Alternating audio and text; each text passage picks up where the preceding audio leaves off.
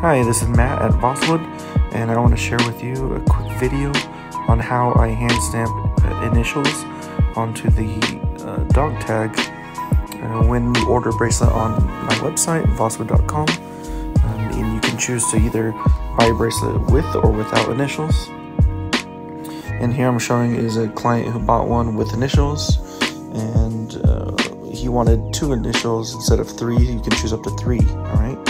And this is the future, guys. You know, custom customizing um, is where it's at. You want to have something that's personal, uh, it means more to you, and and I feel like um, I wanted to bring that uh, to my my vision, to my company, um, to, to, for that added value, for that added customization. I think a lot of people might like it.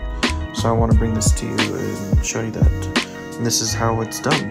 And uh, so right now I'm just finishing up the, um, the finishing touches buffing it out. And then here's the finished uh, product. Thank you guys for watching.